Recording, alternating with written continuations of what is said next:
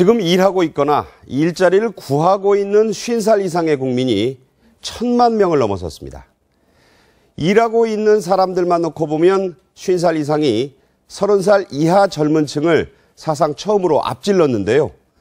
고용시장의 고령화가 본격화되고 있다는 뜻입니다. 한우신 기자입니다.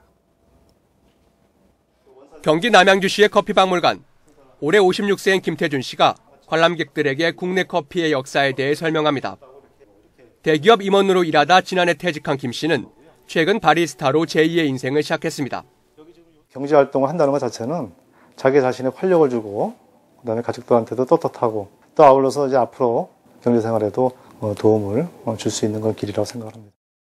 이곳 직원의 80% 정도가 50대 이상의 중장년층입니다. 50대 중장년층 고용하다 보니 우선 이직률이 낮고요. 미래의 합리성과 효율성이 높습니다.